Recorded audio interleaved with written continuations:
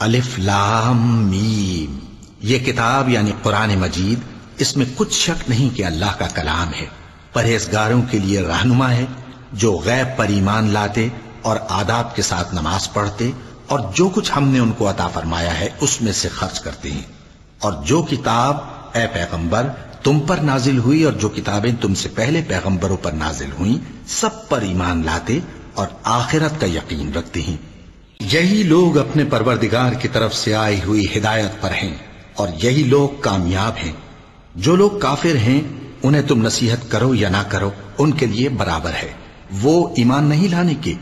अल्लाह ने उनके दिलों और कानों पर मोहर लगा रखी है और उनकी आँखों पर पर्दा पड़ा हुआ है और उनके लिए बड़ा अजाब तैयार है। और बाज लोग ऐसे हैं जो कहते हैं कि हम अल्लाह पर और रोज़े आखिर पर ईमान रखते हैं। हालाँकि वो ईमान नहीं रखते। ये अपने ख्याल में अल्लाह को और मोमिनों को धोखा देते हैं, मगर हकीकत में अपने सिवा किसी को धोखा नहीं देते, और इससे बेखबर हैं। इनके दिलों में कुफर का मरज था। अल्लाह ने इनका मरज और ज़्यादा कर दिया, और इनके झूठ बोलने के सबब इनको दुख देने वाला अजाब होगा। और जब इनसे कहा जाता है कि ज़मीन में फसाद न डालो तो कहते हैं कि हम तो इसलाह करने वाले हैं।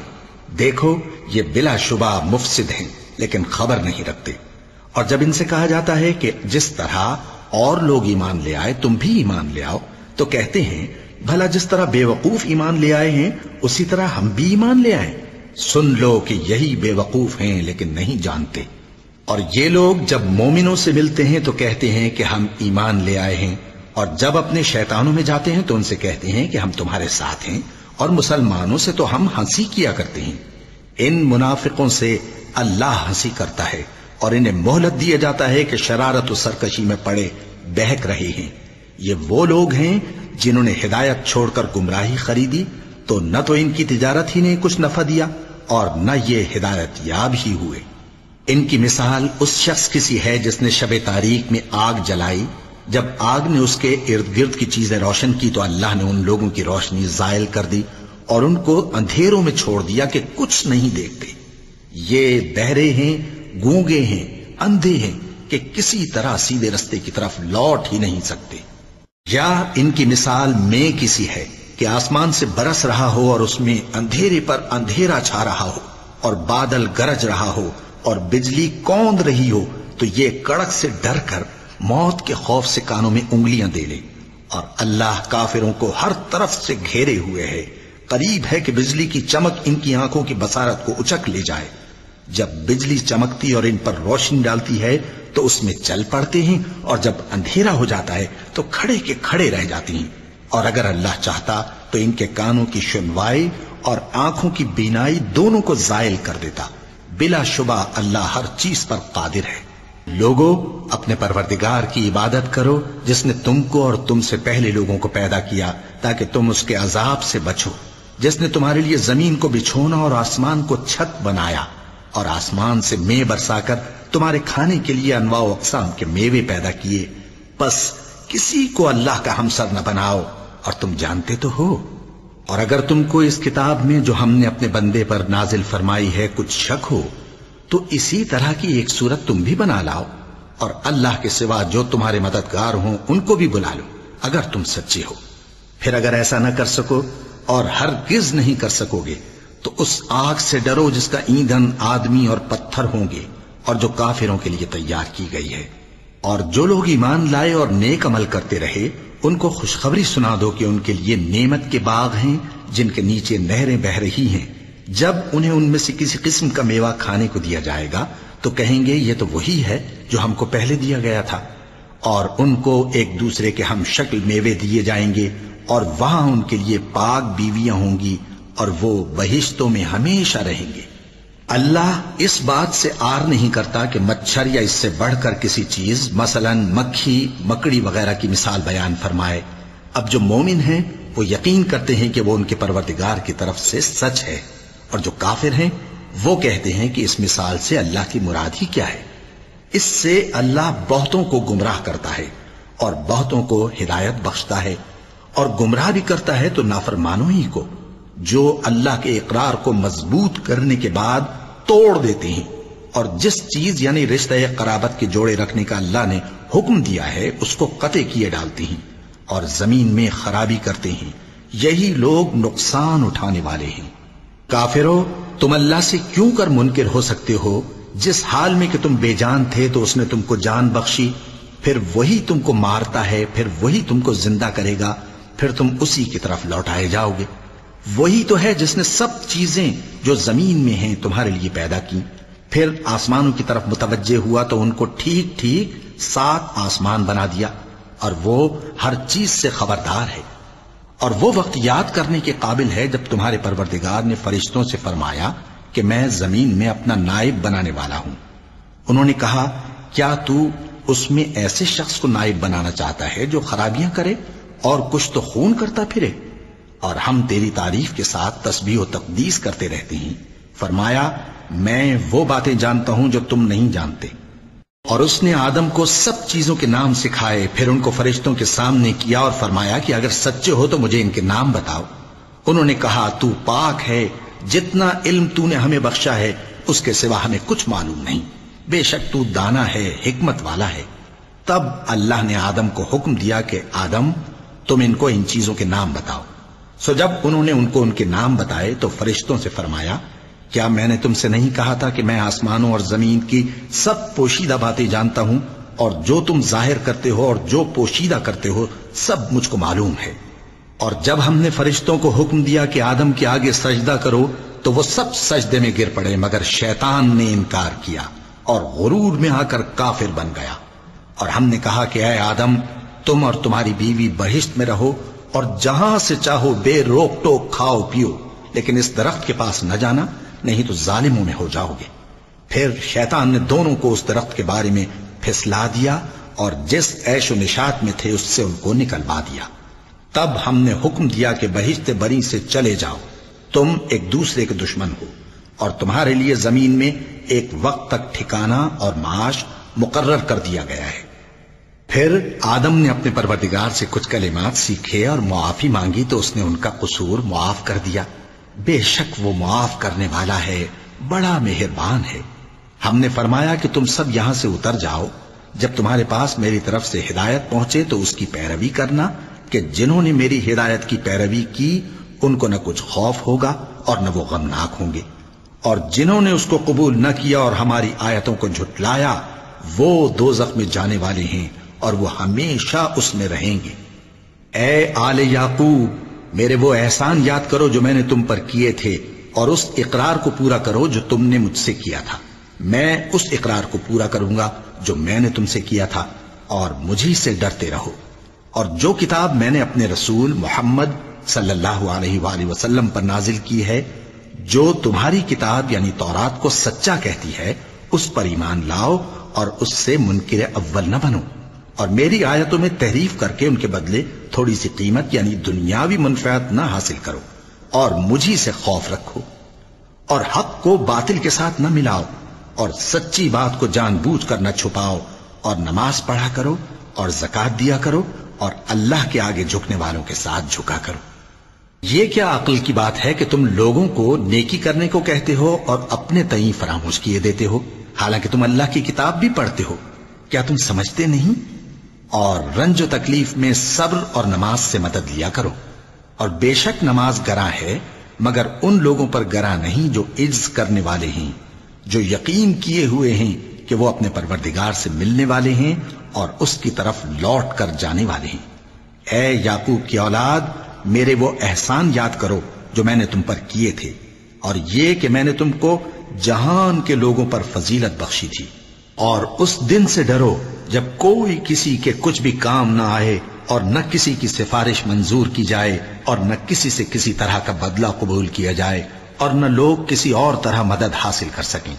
और हमारे उन एहसानात को याद करो, जब हमने तुमको कौम फिरौन से नजात बख्शी, वो लोग तुमको बड़ा दुख देते थे। तुम्हारे बेटों को तो कत्ल कर डालते थे और बेटियों को ज़िंदा रहने देते थे। और उसमें तुम्हारे परवरदिगार की तरफ़ से बड़ी सख्त आजमाइश थी। और जब हमने तुम्हारे लिए समंदर को फाड़ दिया, फिर तुमको तो नजात दी और फिरौन की कौम को गर्क कर दिया और तुम देख रहे थे।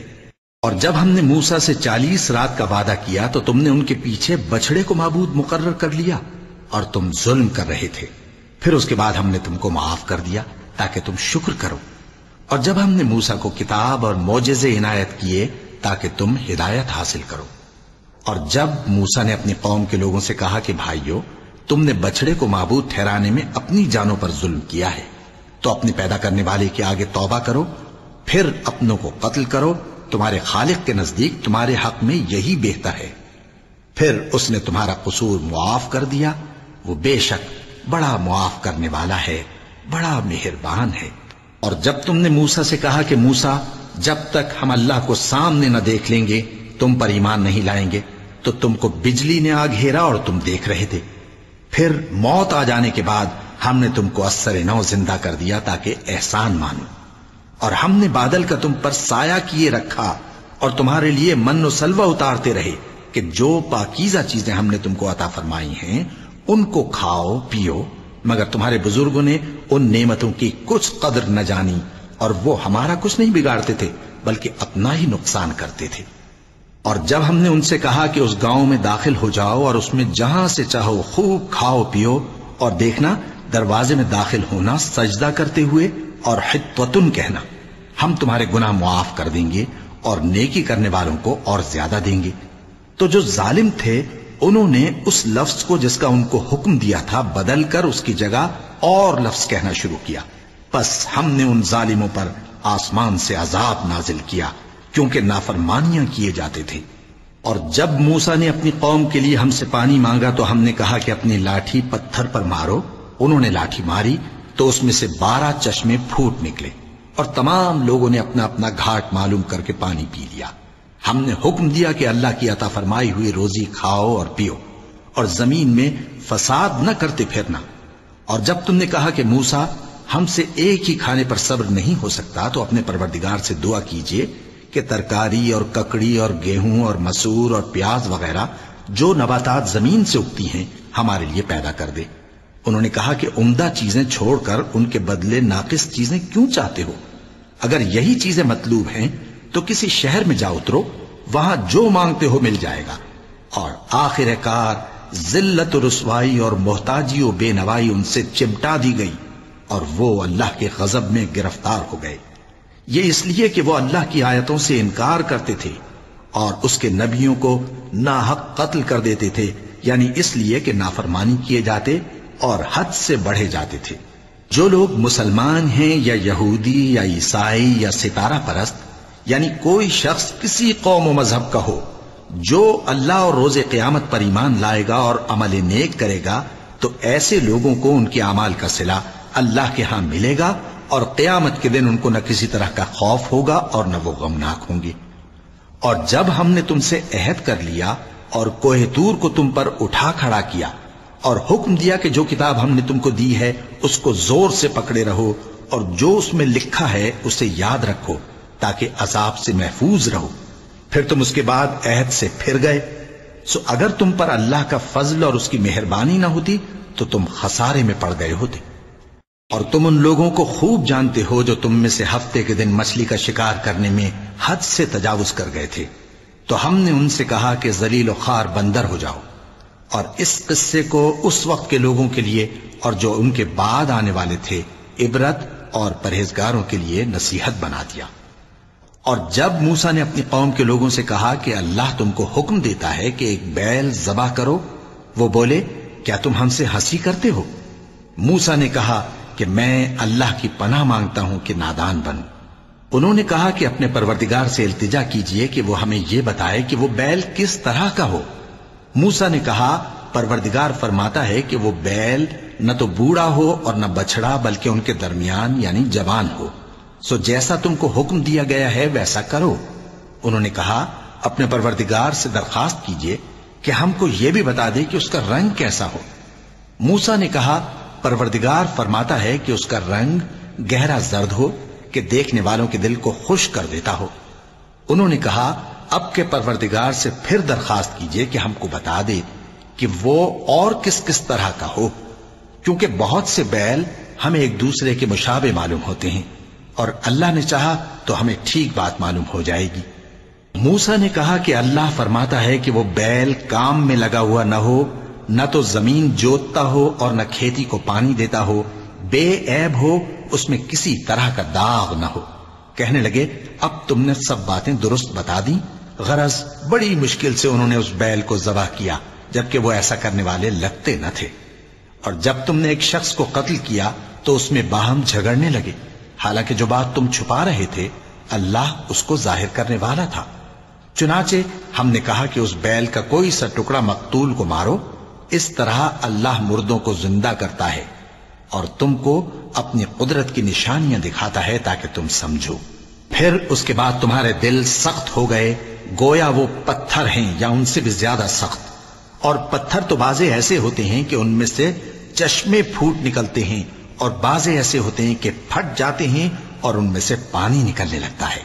और बाजे ऐसे होते हैं कि अल्लाह के खौफ से गिर पड़ते हैं और अल्लाह तुम्हारे करतूतों से बेखबर नहीं। मोमिनो, क्या तुम उम्मीद रखते हो कि ये लोग तुम्हारे दीन के कायल हो जाएँगे? हालाँकि इनमें से कुछ लोग कलामुल्लाह यानी तौरात को सुनते, फिर उसके समझ लेने के बाद उसको कर बदल देते रहे हैं। और ये लोग जब मोमिनों से मिलते हैं तो कहते हैं, हम ईमान ले आए हैं। और जिस वक्त तन्हाई में एक दूसरे से मिलते हैं तो कहते हैं, जो बात अल्लाह ने तुम पर ज़ाहिर फरमाई है वो तुम उनको इसलिए बताए देते हो कि कयामत के दिन उसी के हवाले से तुम्हारे परवरदिगार के सामने तुमको इल्ज़ाम दें। क्या तुम समझते नहीं? क्या ये लोग ये नहीं जानते कि जो कुछ ये छुपाते और जो कुछ ज़ाहिर करते हैं, अल्लाह को सब मालूम है? और बाज उनमें अनपढ़ हैं कि अपनी आरजुओं के सिवा अल्लाह की किताब से वाकिफ ही नहीं। और वो सिर्फ़ अटकल से काम लेते हैं। सो उन लोगों पर अफसोस है जो अपने हाथ से किताब लिखते हैं और कहते ये हैं कि यह अल्लाह के पास से आई है, ताकि उसके इवज थोड़ी सी कीमत, यानी दुनियावी मनफात हासिल करें। सो उन पर अफसोस है, इसलिए कि बेअसल बातें अपने हाथ से लिखते हैं, और फिर उन पर अफसोस है, इसलिए कि ऐसे काम करते हैं। और कहते हैं कि दोजख की आग हमें चंद रोज के सिवा छू ही नहीं सकेगी। इनसे पूछो, क्या तुमने अल्लाह से इकरार ले रखा है कि अल्लाह अपने इकरार के खिलाफ नहीं करेगा? या तुम अल्लाह के बारे में ऐसी बातें कहते हो जिनका तुम्हें मुतलक इल्म नहीं? हाँ, क्यों नहीं? जो बुरे काम करे और उसके गुनाह हर तरफ़ से उसको घेर लें तो ऐसे लोग दो में जाने वाले हैं और वो हमेशा उसमें जलते रहेंगे और जो ईमान लाएँ और नेक काम करें, वो जन्नत के मालिक होंगे और हमेशा उसमें ऐश करते रहेंगे। और जब हमने बनी इसराइल से अहद लिया कि अल्लाह के सिवा किसी की इबादत न करना और माँ बाप और रिश्तेदारों और यतीमों और मोहताजों के साथ भलाई करते रहना और लोगों से अच्छी बातें कहना और नमाज़ पढ़ते और जक़ात देते रहना तो चंद आदमियों के सिवा तुम सब उस अहद से मुँह फेर कर पलट गए। और जब हमने तुमसे अहद लिया कि आपस में कुछ तो खून न करना और अपनों को उनके वतन से न निकालना तो तुमने इकरार कर लिया और तुम इस बात को मानते भी हो। फिर तुम वही हो कि अपनों को कत्ल भी कर देते हो और अपने में से बाज लोगों पर गुना और जुल्म से चढ़ाई करके उन्हें वतन से निकाल भी देते हो। और अगर वो तुम्हारे पास कैद होकर आए तो बदला देकर उनको छुड़ा भी लेते हो। हालाँकि उनका निकाल देना ही तुम पर हराम था। ये क्या बात है कि तुम किताबुल्लाह के बाज अहकाम को तो मानते हो और बाज से इनकार किए देते हो। तो जो तुम में से ऐसी हरकत करें, उनकी सजा इसके सिवा और क्या हो सकती है? कि दुनिया की ज़िंदगी में तो रसवाई हो और कयामत के दिन सख्त से सख्त अजाब में डाल दिए जाएँ। और जो काम तुम करते हो, अल्लाह उनसे गाफिल नहीं। ये वो लोग हैं जिन्होंने आखिरत के बदले दुनिया की ज़िंदगी खरीदी, सो न तो इनसे अजाब ही हल्का किया जाएगा और न इनको और तरह की मदद मिलेगी। और हमने मूसा को किताब इनायत की और उनके पीछे यके बाद दीगरे पैगंबर भेजते रहे। और ईसा इब्ने मरियम को खुले निशानात बख्शे और रूहुल कुदस यानी जिब्राइल से उनको मदद दी। तो क्या ऐसा है कि जब कोई पैगंबर तुम्हारे पास ऐसी बातें लेकर आए जिनको तुम्हारा जी नहीं चाहता था तो तुम सरकश हो जाते रहे और एक गिरोह अंबिया को तो झुटलाते रहे और एक गिरोह को कत्ल करते रहे और कहते हैं, हमारे दिलों पर पर्दे हैं। नहीं, बल्कि अल्लाह ने उनके कुफर के सबब उन पर लानत कर रखी है। बस ये थोड़े ही पर ईमान लाते हैं। और जब अल्लाह के हाथ से उनके पास किताब आई, जो उनकी आसमानी किताब की भी तस्दीक करती है, और वो पहले हमेशा काफिरों पर फतह मांगा करते थे, फिर जिस चीज़ को वो खूब पहचानते थे, जब उनके पास आ पहुँची तो उससे मुनकिर हो गए। बस काफिरों पर अल्लाह की लानत। जिस चीज़ के बदले उन्होंने अपने तई बेच डाला, वो बहुत बुरी है। यानी इस जलन से कि अल्लाह अपने बंदों में से जिस पर चाहता है, अपनी मेहरबानी से नाजिल फरमाता है। अल्लाह की नाजिल की हुई किताब से कुफर करने लगे तो वो उसके गजब, बालाए गजब में मुबतला हो गए। और काफिरों के लिए जलील करने वाला अजाब है। और जब उनसे कहा जाता है कि जो किताब अल्लाह ने अब नाजिल फरमाई है, उसको मानो तो कहते हैं कि जो किताब हम पर पहले नाजिल हो चुकी है, हम तो उसी को मानते हैं। यानी ये उसके सिवा और किताब को नहीं मानते। हालाँकि वो सरासर सच्ची है और जो उनकी आसमानी किताब है, उसकी भी तस्दीक करती है। इनसे कह दो कि अगर तुम साहिब ईमान होते तो अल्लाह के पैगंबरों को पहले ही क्यों कत्ल किया करते थे? और मूसा तुम्हारे पास खुले हुए मोजात लेकर आए, फिर तुम उनके कोहे तूर पर जाने के बाद बछड़े को महबूद बना बैठे। और तुम अपने ही हक में जुल्म करते थे। और जब हमने तुम लोगों से पुख्ता अहद लिया और कोहे तूर को तुम पर उठा खड़ा किया और हुक्म दिया कि जो किताब हमने तुमको दी है, उसको ज़ोर से पकड़ो और जो तुम्हें हुक्म होता है, उसको सुनो। तो वो जो तुम्हारे बड़े थे, कहने लगे कि हमने सुन तो लिया, लेकिन मानते नहीं।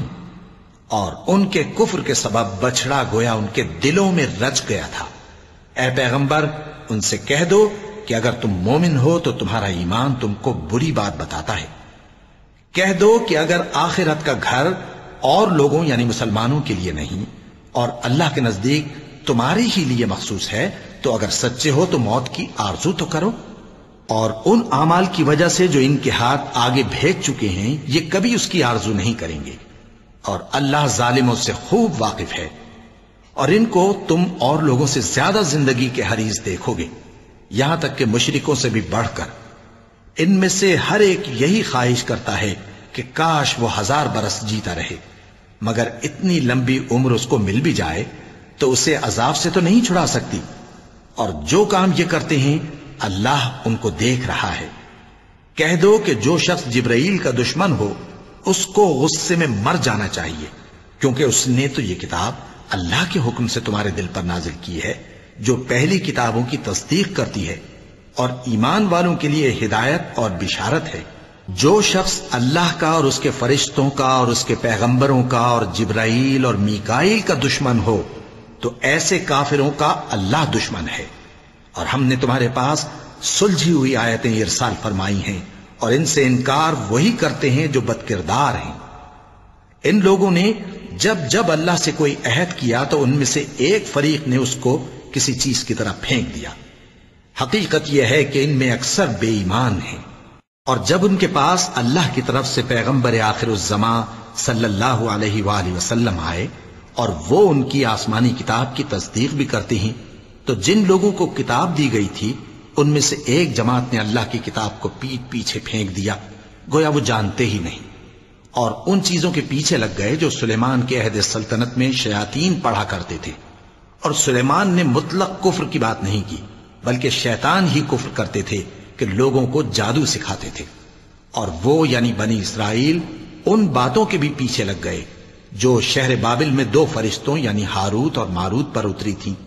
और वो दोनों किसी को कुछ नहीं सिखाते थे, जब तक ये न कह देते कि हम तो ज़रिए आजमाइश हैं। तुम कुफर में न पड़ो गरज लोग उनसे वो चीज़ सीखते जिससे मियाँ बीवी में जुदाई डाल दे। और अल्लाह के हुक्म के सिवा वो उस चीज़ से किसी का कुछ भी नहीं बिगाड़ सकते थे। और कुछ ऐसे मंत्र सीखते जो उनको नुकसान ही पहुंचाते और फ़ायदा कुछ न देते। और वो जानते थे कि जो शख्स ऐसी चीज़ों यानी सहर और मंत्र वगैरह का खरीदार होगा, उसका आखिरत में कुछ हिस्सा नहीं। और जिस चीज़ के एवज उन्होंने अपनी जानों को बेच डाला, वो बुरी थी, क्या अच्छा होता जो वो इस बात को जानते। और अगर वो ईमान लाते और परहेजगारी करते तो अल्लाह के हाथ से बहुत अच्छा सिला मिलता। क्या अच्छा होता जो वो इससे वाकिफ होते? ए अहले ईमान, गुफ्तगु के वक्त पैगंबर सल्लल्लाहु अलैहि वसल्लम से रायना ना कहा करो उनजुरना कहा करो, और खूब सुन रखो, और काफिरों के लिए दुख देने वाला अजाब है। जो लोग काफिर हैं, अहले किताब या मुशरिक वो इस बात को पसंद नहीं करते कि तुम लोगों पर, तुम्हारे परवरदिगार की तरफ़ से खैर बरकत नाजिल हो। और अल्लाह तो जिसको चाहता है, अपनी रहमत के साथ खास कर लेता है। और अल्लाह बड़े फजल का मालिक है। हम जिस आयत को मनसूख कर देते या उसे फरामोश करा देते हैं तो उससे बेहतर या वैसी ही और आयत भेज देती हैं। क्या तुम नहीं जानते कि अल्लाह हर बात पर कादिर है? क्या तुम्हें मालूम नहीं कि आसमानों और ज़मीन की सल्तनत अल्लाह ही की है और अल्लाह के सिवा तुम्हारा कोई दोस्त और मददगार नहीं। मुसलमानों, क्या तुम ये चाहते हो कि अपने पैगंबर सल्लल्लाहु अलैहि वसल्लम से उसी तरह के सवाल करो जिस तरह के सवाल पहले मूसा से किए गए थे? और जिस शख्स ने ईमान छोड़कर उसके बदले कुफ्र लिया तो यकीनन वो सीधे रस्ते से भटक गया। बहुत से अहले किताब अपने दिल की जलन से ये चाहते हैं कि ईमान ला चुकने के बाद तुमको फिर काफिर बना दें। हालाँकि उन पर हक ज़ाहिर हो चुका है तो तुम मुआफ कर दो और दरगुजर करो। यहाँ तक कि अल्लाह अपना दूसरा हुक्म भेजे। बेशक अल्लाह हर बात पर कादिर है। और नमाज़ अदा करते रहो और जक़ात देते रहो और जो भलाई अपने लिए आगे भेज रखोगे, उसको अल्लाह के यहाँ पालोगे। कुछ शक नहीं कि अल्लाह तुम्हारे सब कामों को देख रहा है। और यहूदी और ईसाई कहते हैं कि यहूदियों और ईसाइयों के सिवा कोई बहिष्त में नहीं जाने का। ये इन लोगों के ख्यालात बातिल हैं। ए पैगंबर, इनसे कह दो कि अगर सच्चे हो तो दलील पेश करो। हाँ, क्यों नहीं? जो शख्स अल्लाह के आगे गर्दन झुका दे, यानी ईमान ले आए, और वो नेकुकार भी हो तो उसका सिला उसके परवरदिगार के पास है। और ऐसे लोगों को क्यामत के दिन न किसी तरह का खौफ होगा और न वो गमनाक होंगे। और यहूदी कहते हैं कि ईसाई रस्ते पर नहीं और ईसाई कहते हैं कि यहूदी रस्ते पर नहीं। हालाँकि वो किताब इलाही पढ़ते हैं। इसी तरह बिल्कुल इन्हीं किसी बात वो लोग कहते हैं जो कुछ नहीं जानते, यानी मुशरक। तो जिस बात में ये लोग इख्तिलाफ कर रहे हैं, अल्लाह कयामत के दिन उसका इनमें फैसला कर देगा। और उससे बढ़कर जालिम कौन जो अल्लाह की मस्जिदों में अल्लाह के नाम का ज़िक्र किए जाने को मना करे और उनकी वीरानी के लिए कोशिश करे। इन लोगों को कुछ हक नहीं कि इन मस्जिदों में दाखिल हों, मगर डरते हुए। इनके लिए दुनिया में रसवाई है और आखिरत में बड़ा अजाब। और मशरक और मगरब सब अल्लाह ही का है तो जिधर भी तुम रुख करो, उधर ही अल्लाह की जात है। बेशक अल्लाह साहेब वसत है, बाखबर है। और ये लोग इस बात के कायल हैं कि अल्लाह औलाद रखता है। नहीं, वो पाक है, बल्कि जो कुछ आसमानों और ज़मीन में है, सब उसी का है और सब उसके फर्मा बरदार हैं। वही आसमानों और ज़मीन का पैदा करने वाला है और जब कोई काम करना चाहता है तो उसको इरशाद फरमा देता है कि हो जा तो वो हो जाता है। और जो लोग कुछ नहीं जानते, यानी मुशरिक वो कहते हैं कि अल्लाह हमसे कलाम क्यों नहीं करता, या हमारे पास कोई निशानी क्यों नहीं आती? इसी तरह जो लोग इनसे पहले थे, वो भी इन्हीं किसी बातें किया करते थे। इन लोगों के दिल आपस में मिलते जुलते हैं। जो लोग साहेब यकीन हैं, उनके समझाने के लिए हमने निशानियाँ बयान कर दी हैं। ए पैगंबर, हमने तुमको सच्चाई के साथ खुशखबरी सुनाने वाला और डराने वाला बनाकर भेजा है। और अहले दोजक के बारे में तुमसे कुछ पुरसिश नहीं होगी। और तुमसे न तो यहूदी कभी खुश होंगे और न ईसाई। यहाँ तक के उनके मज़हब की पैरवी इख्तियार कर लो। इनसे कह दो कि अल्लाह की हिदायत यानी दीन इस्लाम ही हिदायत है। और अः पैगंबर, अगर तुम अपने पास इल्म यानी वही इलाही के आ जाने पर भी इनकी ख्वाहिशों पर चलोगे तो तुमको अल्लाह की पकड़ से बचाने वाला न कोई दोस्त होगा। न कोई मददगार। जिन लोगों को हमने किताब इनायत की है, वो उसको ऐसा पढ़ते हैं जैसा उसके पढ़ने का हक है। यही लोग उस पर ईमान रखते हैं और जो उसको नहीं मानते, वही खसारा पाने वाले हैं। ए बनी इसराइल, मेरे वो एहसान याद करो जो मैंने तुम पर किए और ये कि मैंने तुमको अहले आलम पर फजीलत बख्शी।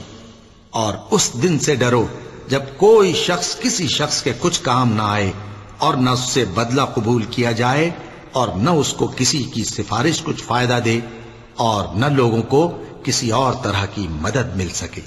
और जब इब्राहिम की उसके परवरदिगार ने चंद बातों में आजमाइश की तो वो उनमें पूरे उतरे। फरमाया कि मैं तुमको लोगों का पेशवा बनाऊँगा। उन्होंने कहा कि परवरदिगार, मेरी औलाद में से भी पेशवा बनाइयो। फरमाया कि मेरा कौल करार जालिमों के लिए नहीं हुआ करता। और जब हमने खाना काबा को लोगों के लिए जमा होने और अमन पाने की जगह मुकर्र किया और हुक्म दिया कि जिस मकाम पर इब्राहिम खड़े होते थे, उसको नमाज़ की जगह बना लो।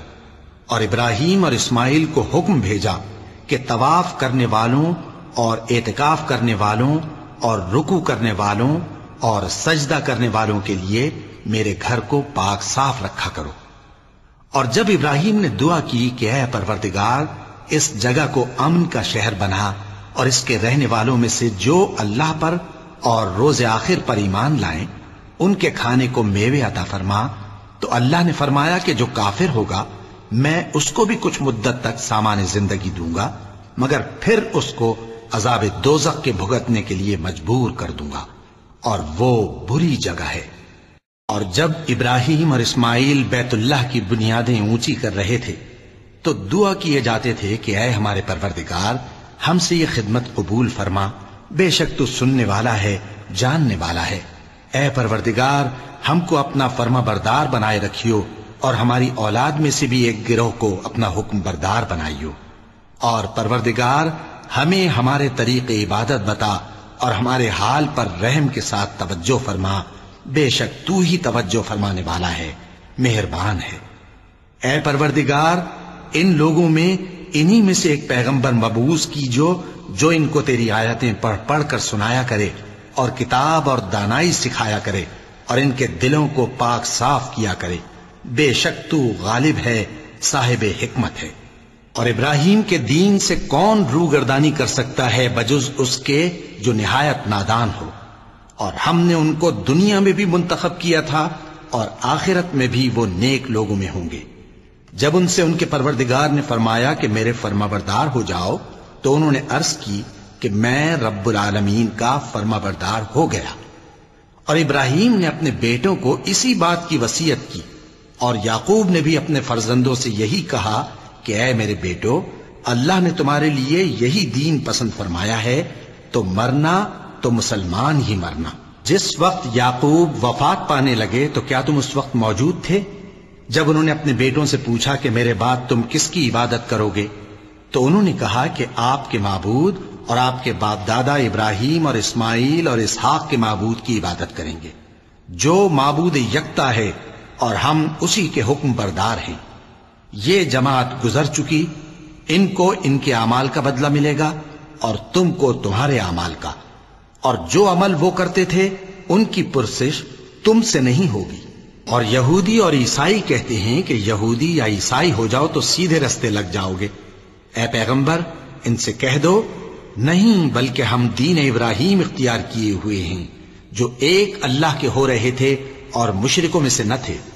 मुसलमानों, कहो कि हम अल्लाह पर ईमान लाए और जो किताब हम पर उतरी उस पर और जो सहीफ इब्राहिम और इस्माइल और इसहाक और याकूब और उनकी औलाद पर नाजिल हुए, उन पर और जो किताबें मूसा और ईसा को अता हुई, उन पर और जो दूसरे पैगंबरों को उनके परवरदिगार की तरफ़ से मिली, उन पर सब पर ईमान लाए।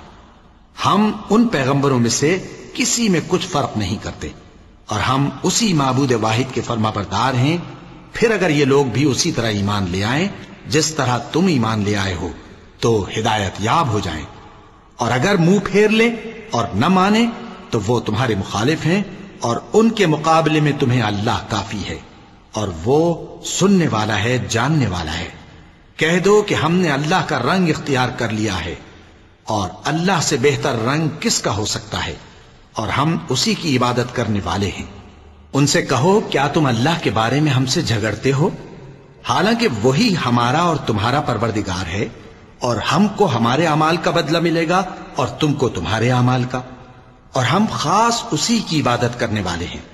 ए यहूद नसारा, क्या तुम इस बात के कायल हो कि इब्राहिम और इस्माइल और इसहाक और याकूब और उनकी औलाद यहूदी या ईसाई थे? ए पैगंबर, इनसे कहो कि भला तुम ज़्यादा जानते हो या अल्लाह? और उससे बढ़कर जालिम कौन जो अल्लाह की शहादत को जो उसके पास किताब में मौजूद है छुपाए, और जो कुछ तुम लोग कर रहे हो, अल्लाह उससे गाफिल नहीं। ये अंबिया की जमात गुजर चुकी। इनको वो मिलेगा जो इन्होंने किया, और तुमको वो जो तुमने किया। और जो अमल वो करते थे, उनकी पुरसिश तुमसे नहीं होगी। अहमक लोग कहेंगे कि मुसलमान जिस किबले पर पहले से चले आते थे, अब उससे क्यों मुँह फेर बैठे? तुम कह दो कि मशरक और मगरब सब अल्लाह ही का है। वो जिसको चाहता है सीधे रस्ते पर चलाता है। और इसी तरह हमने तुमको उम्मत मोतदिल बनाया है ताकि तुम लोगों पर गवाह बनो और पैगंबर आखिर जमा वसल्लम तुम पर गवाह बने। और जिस किबले पर तुम पहले थे, उसको हमने इसलिए मुकर्र किया था कि मालूम करें कि कौन हमारे पैगंबर का ताबे रहता है और कौन उल्टे पाँव फिर जाता है। और ये बात यानी तहवील किबला लोगों को गरा मालूम हुई। मगर जिनको अल्लाह ने हिदायत बख्शी है, वो इसे गरा नहीं समझते और अल्लाह ऐसा नहीं कि तुम्हारे ईमान को यूँ ही जाया कर दे। अल्लाह तो लोगों पर बड़ा मेहरबान है, साहिब रहमत है। ए पैगंबर, सल्लल्लाहु अलैहि वसल्लम, हम तुम्हारा आसमान की तरफ़ मुँह उठाना देख रहे हैं। सो हम तुमको उसी किबले की तरफ़, जिसको तुम पसंद करते हो, मुँह करने का हुक्म देंगे। तो अपना मुँह मस्जिद हराम यानी खाना काबा की तरफ़ फेर लो और तुम लोग जहाँ हुआ करो नमाज़ पढ़ने के वक्त, इसी मस्जिद की तरफ़ मुँह कर लिया करो। और जिन लोगों को किताब दी गई है, वो खूब जानते हैं कि ये नया किबला उनके परवरदिगार की तरफ़ से हक है और जो काम ये लोग करते हैं, अल्लाह उनसे बेखबर नहीं। और अगर तुम इन अहले किताब के पास तमाम निशानियाँ भी लेकर आओ तो भी ये तुम्हारे किबले की पैरवी न करें। और तुम भी इनके किबले की पैरवी करने वाले नहीं हो। और इनमें से भी बाज बाज के किबले के पैरों नहीं। और अगर तुम बावजूद इसके कि तुम्हारे पास इल्म यानी अल्लाह का हुक्म आ चुका है, इनकी ख्वाहिशों के पीछे चलोगे तो जालिमों में हो जाओगे। जिन लोगों को हमने किताब दी है, वो इन पैगंबर आखिर अलैहि वसल्लम को इस तरह पहचानते हैं, जिस तरह अपने बेटों को पहचाना करते हैं। मगर एक फरीक इनमें से सच्ची बात को जानबूझकर छुपा रहा है। ए पैगंबर, सल्लल्लाहु अलैहि वसल्लम, ये नया किबला तुम्हारे परवरदिगार की तरफ़ से हक है तो तुम हरगिज शक करने वालों में न होना। और हर एक शख्स के लिए एक समत मुकर्र है, जिधर वो इबादत के वक्त मुँह किया करता है। तो तुम नेकियों में सबकत हासिल करो। तुम जहाँ होगे, अल्लाह तुम सबको जमा करेगा बेशक अल्लाह हर चीज़ पर कादिर है। और तुम जहाँ से निकलो, नमाज़ में अपना मुँह मस्जिद हराम की तरफ़ कर लिया करो। बेशुबा ये तुम्हारे परवरदिगार की तरफ़ से हक है। और तुम लोग जो कुछ करते हो, अल्लाह उससे बेखबर नहीं। और तुम जहाँ से निकलो, मस्जिद हराम की तरफ़ मुँह करके नमाज़ पढ़ा करो। और मुसलमानों, तुम जहाँ हुआ करो, इसी मस्जिद की तरफ़ रुख किया करो। ये ताकीद इसलिए की गई है कि लोग तुमको किसी तरह का इल्ज़ाम न दे सकें। मगर उनमें से जो जालिम हैं, वो इल्ज़ाम दें तो दें, सो उनसे मत डरना और मुझी से डरते रहना। और यह भी मकसूद है कि मैं तुमको अपनी तमाम नेमतें बख्शूं और यह भी कि तुम राह रास्त पर चलो। जिस तरह मिन जुमला और नेमतों के हमने तुम में तुम्ही में से एक रसूल भेजे हैं, जो तुमको हमारी आयतें पढ़ पढ़ कर सुनाते और तुम्हें पाक बनाते और किताब यानी कुरान और दानाई सिखाते हैं और ऐसी बातें बताते हैं जो तुम पहले नहीं जानते थे। सो तुम मुझे याद किया करो, मैं तुम्हें याद किया करूँगा और मेरा एहसान मानते रहना और मेरी नाशुक्री ना करना। ए ईमान वालो, सब्र और नमाज़ से मदद लिया करो। बेशक अल्लाह सब्र करने वालों के साथ है। और जो लोग अल्लाह की राह में मारे जाएँ, उनकी निस्बत ये ना कहना कि वो मरे हुए हैं। वो मुर्दा नहीं, बल्कि ज़िंदा है, लेकिन तुमको शूर नहीं। और हम किसी कदर खौफ और भूख और माल और जानों और मेवों के नुकसान से तुम्हारी आजमाइश करेंगे। और सब्र करने वालों को बिशारत सुना दो कि उन लोगों पर जब कोई मुसीबत वाक़ होती है तो कहते हैं कि हम अल्लाह ही का माल हैं और उसी की तरफ़ लौट कर जाने वाले हैं। यही लोग हैं जिन पर इनके परवरदिगार की इनायतें हैं और खसूसी रहमत भी है और यही सीधे रस्ते पर है।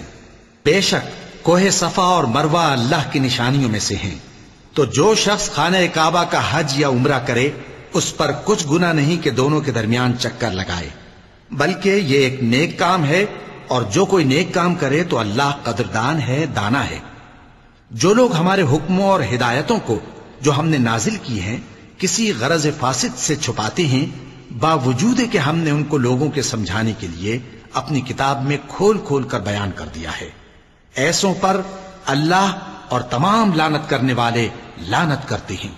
हाँ, जो तौबा करते हैं और अपनी हालत दुरुस्त कर लेते हैं और अहकाम इलाही को साफ़ साफ़ बयान कर देते हैं तो मैं उनके कसूर मुआफ कर देता हूँ और मैं बड़ा मुआफ करने वाला, बड़ा मेहरबान हूँ। जो लोग काफिर हुए और काफिर ही मरे ऐसों पर अल्लाह की और फरिश्तों की और इंसानों की सबकी लानत। वो हमेशा इसी लानत में गिरफ़्तार रहेंगे। उनसे न तो अजाब हल्का ही किया जाएगा और न उन्हें कुछ मोहलत मिलेगी। और लोगों, तुम्हारा माबूद एक ही माबूद है। उस बड़े मेहरबान और रहम वाले के सिवा कोई इबादत के लायक नहीं।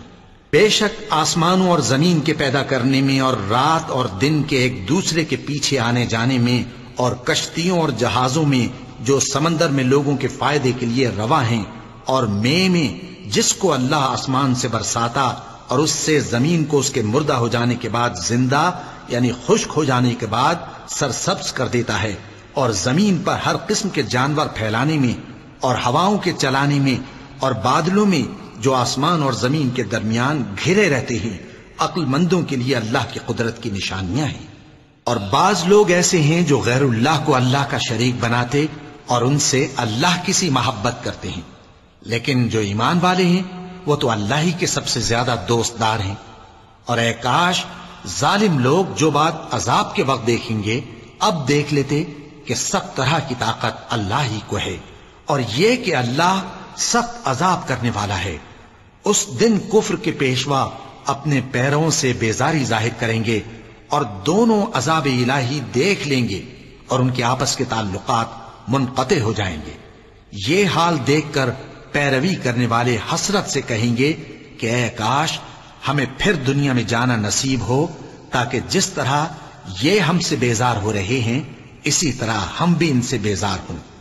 इस तरह अल्लाह इनके अमाल हसरत बनाकर दिखाएगा और वो दोजक से निकल नहीं सकेंगे। लोगों, जो चीज़ें ज़मीन में हलाल तैयब हैं, वो खाओ। और शैतान के कदमों पर न चलो, वो तुम्हारा खुला दुश्मन है। वो तो तुमको बुराई और बेहयाई ही के काम करने को कहता है। और यह भी कि अल्लाह की नस्बत ऐसी बातें कहो, जिनका तुम्हें कुछ भी इल्म नहीं। और जब इन लोगों से कहा जाता है कि जो किताब अल्लाह ने नाजिल फरमाई है, उसकी पैरवी करो तो कहते हैं नहीं, बल्कि हम तो उसी चीज़ की पैरवी करेंगे, जिस पर हमने अपने बाप दादा को पाया। भला अगर इनके बाप दादा न कुछ समझते हों और न सीधे रस्ते पर हों, तब भी वो उन्हीं की तकलीफ़ किए जाएँगे? जो लोग काफिर हैं, उनकी मिसाल उस शख्स की सी है जो किसी ऐसी चीज़ को आवाज़ दे जो पुकार और आवाज़ के सिवा कुछ सुन न सके। ये बहरे हैं, गूँगे हैं, अंधे हैं, कि कुछ समझ ही नहीं सकते। ए अहले ईमान, जो पाकिजा चीज़ें हमने तुमको अता फरमाई हैं, उनको खाओ, और अगर अल्लाह ही के बंदे हो तो उसकी नेमतों का शुक्र भी अदा करो। उसने तो तुम पर बस मरा हुआ जानवर, और लोहू, और सुअर का गोश्त, और जिस चीज़ पर अल्लाह के सिवा किसी और का नाम पुकारा जाए, हराम कर दिया है। हाँ, जो मजबूर हो जाए, बशर्ते कि अल्लाह की नाफरमानी ना करे, और हद ज़रूरत से बाहर न निकल जाए उस पर कुछ गुना नहीं। बेशक अल्लाह बख्शने वाला है, रहम करने वाला है। जो लोग अल्लाह की किताब से उन आयतों और हिदायतों को जो उसने नाजिल फरमाई हैं छुपाते और उनके बदले थोड़ी सी कीमत, यानी दुनियावी मुनफात हासिल करते हैं, वो अपने पेटों में महज आग भरते हैं। ऐसे लोगों से अल्लाह क्यामत के दिन न कलाम करेगा और न उनको गुनाहों से पाक करेगा और उनके लिए दुख देने वाला अजाब है। ये वो लोग हैं जिन्होंने हिदायत छोड़कर, गुमराही और बख्शिश छोड़कर अजाब खरीद लिया। ये आतश जहन्नम की कैसी बर्दाश्त करने वाले हैं? ये इसलिए कि अल्लाह ने किताब सच्चाई के साथ नाजिल फरमाई और जिन लोगों ने इस किताब में इख्तिलाफ किया, वो जिद में आकर नेकी से दूर हो गए हैं। नेकी यही नहीं कि तुम मशरक व मगरिब को किबला समझकर उनकी तरफ़ मुँह कर लो, बल्कि नेकी यह है कि लोग अल्लाह पर और रोज आखिर पर और फरिश्तों पर और अल्लाह की किताब पर और पैगंबरों पर ईमान लाए और माल बावजूद अज़ीज़ रखने के रिश्तेदारों और यतीमों और मोहताजों और मुसाफिरों और मांगने वालों को दें और गर्दनों के छुड़ाने में खर्च करें और नमाज़ पढ़ें और सकात दें और जब अहद कर लें तो उसको पूरा करें और सख्ती और तकलीफ़ में और जंग के वक्त साबित कदम रहें। यही लोग हैं जो ईमान में सच्चे हैं और यही हैं जो अल्लाह से डरने वाले हैं। मोमिनो, तुमको मकतूलों के बारे में किसास यानी खून के बदले खून का हुक्म दिया जाता है। इस तरह पर कि आज़ाद के बदले आज़ाद मारा जाए और गुलाम के बदले गुलाम और औरत के बदले औरत। और अगर कातिल को उसके मकतूल भाई के किसास में से कुछ मुआफ कर दिया जाए तो वारिस मकतूल को पसंदीदा तरीक से करारदाद की पैरवी यानी मुतालबा खून बहा करना और कातिल को खुशखुई के साथ अदा करना चाहिए, ये तुम्हारे परवरदिगार की तरफ़ से तुम्हारे लिए आसानी और मेहरबानी है। अब जो इसके बाद ज्यादती करे, उसके लिए दुख का अजाब है। और ए अहले अक्ल, हुक्म किसास में तुम्हारी जिंदगानी है कि तुम कत्ल खूरेजी से बचो। तुम पर फ़र्ज़ किया जाता है कि जब तुम में से किसी को मौत का वक्त आ जाए तो अगर वो कुछ माल छोड़ जाने वाला हो तो माँ बाप और रिश्तेदारों के लिए दस्तूर के मुताबिक वसीयत कर जाए। अल्लाह से डरने वालों पर यह एक हक है। फिर जो शख्स वसीयत को सुनने के बाद उसको बदल डाले तो उसके बदलने का गुनाह उन्हीं लोगों पर है जो उसको बदलें। और बेशक अल्लाह सुनता जानता है। अब अगर किसी को वसीयत करने वाले की तरफ़ से किसी वारिस की तरफदारी या हक तलफी का अंदेशा हो तो अगर वो वसीयत को बदलकर वारिसों में सुलह करा दे तो उस पर कुछ गुना नहीं। बेशक अल्लाह बख्शने वाला है, रहम वाला है। मोमिनो, तुम पर रोज़े फ़र्ज़ किए गए हैं, जिस तरह तुमसे पहले लोगों पर फ़र्ज़ किए गए थे, ताकि तुम परहेजगार बनो। रोजों के दिन गिनती के चंद रोज हैं तो जो शख्स तुम में से बीमार हो या सफ़र में हो तो दूसरे दिनों में रोजों का शुमार पूरा कर ले। और जो लोग रोजा रखने की ताकत रखें, लेकिन रखें नहीं, वो रोज़े के बदले मोहताज को खाना खिला दें। और जो कोई अपनी मर्ज़ी से ज़्यादा नेकी करे तो उसके हक में ज़्यादा अच्छा है। और अगर समझो तो रोजा रखना ही तुम्हारे हक में बेहतर है। रोजों का महीना रमज़ान का महीना है, जिसमें कुरान अव्वल अव्वल नाजिल हुआ, जो लोगों का रहनुमा है। और जिसमें हिदायत की खुली निशानियाँ हैं और जो हक बातिल को अलग अलग करने वाला है। तो जो कोई तुम में से इस महीने में मौजूद हो, चाहिए कि पूरे महीने के रोज़े रखे और जो बीमार हो या सफ़र में हो तो दूसरे दिनों में रोज़े रखकर उनका शुमार पूरा कर ले। अल्लाह तुम्हारे हक में आसानी चाहता है और सख्ती नहीं चाहता। और ये आसानी का हुक्म इसलिए दिया गया है कि तुम रोजों का शुमार पूरा कर लो और इस एहसान के बदले कि अल्लाह ने तुमको हिदायत बख्शी है, तुम उसको बुजुर्गी से याद करो और उसका शुक्र करो। और अः पैगंबर, जब तुमसे मेरे बंदे मेरे बारे में दरियाफ्त करें तो उन्हें मालूम हो कि मैं तो तुम्हारे पास ही हूँ। जब कोई पुकारने वाला मुझे पुकारता है तो मैं उसकी दुआ कबूल करता हूँ। तो उनको चाहिए कि मेरे हुक्मों को माने और मुझ पर ईमान रखें ताकि नेक रास्ता पाए। रोजों की रातों में तुम्हारे लिए अपनी औरतों के पास जाना जायज़ कर दिया गया है। वो तुम्हारी पोशाक हैं और तुम उनकी पोशाक हो। अल्लाह को मालूम है कि तुम उनके पास जाने से अपने हक में खयानत करते थे। सो उसने तुम पर मेहरबानी की और तुम्हारी हरकत से दरगुजर फरमाई। तो अब तुमको इख्तियार है कि उनसे मुबाशरत करो। और अल्लाह ने जो चीज़ तुम्हारे लिए लिख रखी है, यानी औलाद, उसको अल्लाह से तलब करो और खाओ और पियो यहाँ तक कि सुबह की सफ़ेद धारी रात की सियाह धारी से अलग नज़र आने लगे। फिर रोजा रखकर रात तक पूरा करो और जब तुम मस्जिदों में एहतिकाफ बैठते हो तो उनसे मुबाशरत न करो। ये अल्लाह की हदें हैं, इनके पास न जाना। इसी तरह अल्लाह अपनी आयतें लोगों के समझाने के लिए खोल खोल कर बयान फरमाता है, ताकि वो परहेजगार बने। और आपस में एक दूसरे का माल नाहक न खाओ। और न उसको रिश्वतन हाकिमों के पास पहुंचाओ, ताकि लोगों के माल का कुछ हिस्सा नाजायज तौर पर खा जाओ। और इसे तुम जानते भी हो। ए पैगंबर, लोग तुमसे नए चाँद के बारे में दरियाफ्त करते हैं कि घटता बढ़ता क्यों है। कह दो कि वो लोगों के कामों की मियादें और हज के वक्त मालूम होने का ज़रिया है। और नेकी इस बात में नहीं कि एहराम की हालत में घरों में उनके पिछवाड़े की तरफ़ से आओ।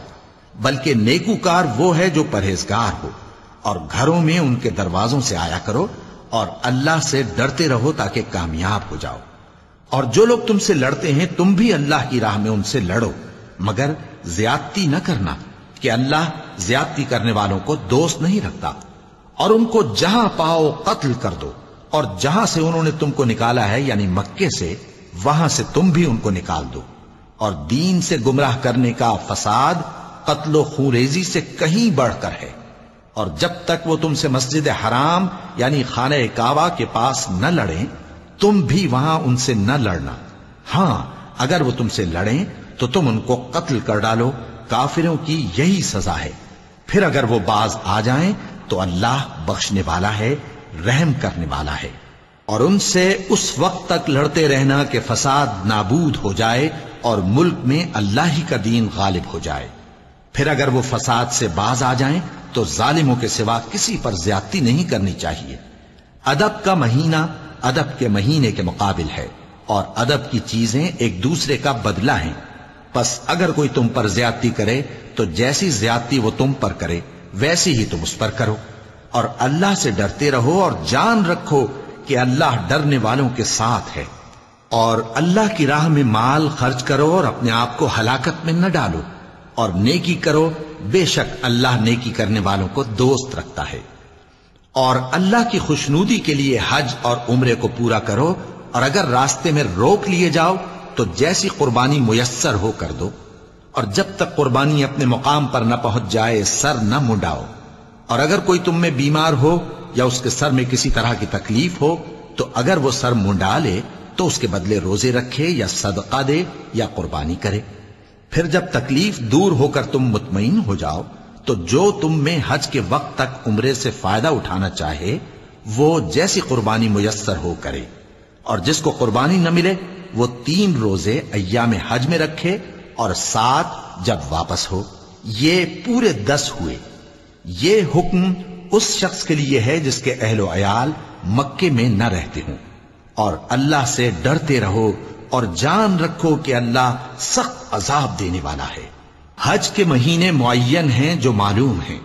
तो जो शख्स इन महीनों में हज की नीयत कर ले तो हज के दिनों में ना औरतों से इख्तिलात करे, न कोई बुरा काम करे और न किसी से झगड़े। और जो नेक काम तुम करोगे, वो अल्लाह को मालूम हो जाएगा। और ज़्यादा राह यानी रस्ते का खर्च साथ ले जाओ, क्योंकि बेहतरीन ज़्यादा राह परहेजगारी है। और अहले अक्ल मुझी से डरते रहो। इसका तुम्हें कुछ गुना नहीं कि हज के दिनों में बजरिया तिजारत अपने परवरदिगार से रोजी तलब करो।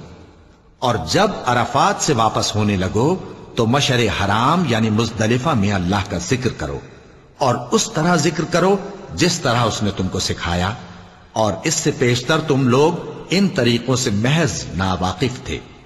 फिर जहाँ से और लोग वापस हों, वहीं से तुम भी वापस हो। और अल्लाह से बख्शिश मांगो, बेशक अल्लाह बख्शने वाला है, रहमत करने वाला है। फिर जब हज के तमाम अरकान पूरे कर चुको तो मिना में अल्लाह को याद करो, जिस तरह अपने बाप दादा को याद किया करते थे, बल्कि उससे भी ज़्यादा। और बाज लोग ऐसे हैं जो अल्लाह से इल्तिजा करते हैं कि अः परवरदिगार, हमको जो देना है, दुनिया ही में दे दे।